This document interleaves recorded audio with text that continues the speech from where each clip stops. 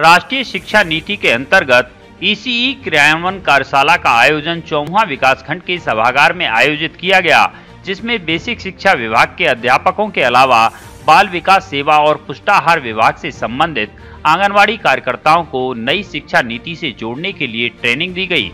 कार्यक्रम का शुभारंभ जिला कार्यक्रम अधिकारी doctor Abhinav Mishra DC training Narayan Swaroop Sharma CPDO प्रभारी ने माँ सरस्वती के समक्ष दीप प्रज्वलित कर किया।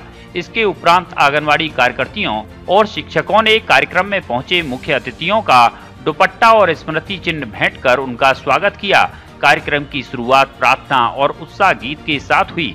इस मौके पर जिला कार्यक्रम अधिकारी डॉक्टर अभिनव मिश्रा ने कहा कि तीन से छह वर्ष के बच्चों का मानसिकता का विकास कराने के लिए राष्ट्रीय शिक्षा नीति 2021 के अंतर्गत ईसीसीई के क्रियान्वयन कार्यशाला के माध्यम से शिक्षकों और आंगनवाड़ी कार्यकर्तियों को एक दिवसीय ट्रेनिंग दी जा रही है ताकि अब तक जो भी बच्चे शिक्षा से उपेक्षित रह जाते थे उनको इसका लाभ मिल सके। आंगनबाड़ी कार्यकर्ती अब तक पोषाहार वितरण टीकाकरण और निर्वाचन संबंधित कार्यों में अपनी सहभागिता करती चली आ रही थीं, लेकिन अब वो एक शिक्षक की भूमिका अदा करेंगी।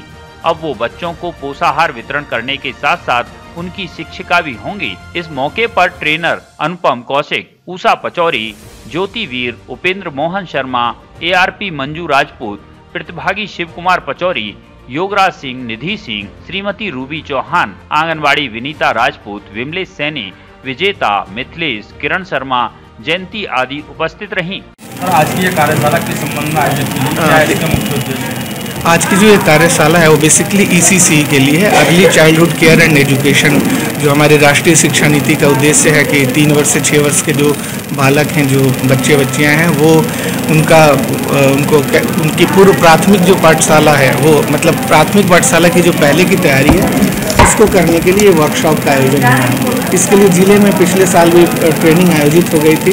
अब इस अब आज के वर्कशॉप के बाद इनके उनको और गति मिलेगी ताकि शिशुओं के शिक्षण संवर्धन में ये योगदान कर सकें। किन लोगों को ट्रेनिंग दी जा रही है? इसमें बेसिकली आंगनबाड़ी कार्यकर्तियाँ हैं और शिक्षक वृंद हैं तो ये इन सबों के समन्वित प्रयास से ये ट्रेनिंग का आयोजन हो रहा है और आगे चल के निश्चित रूप से राष्ट्र निर्माण में बहुत ही इसकी महत्वपूर्ण भूमिका होगी।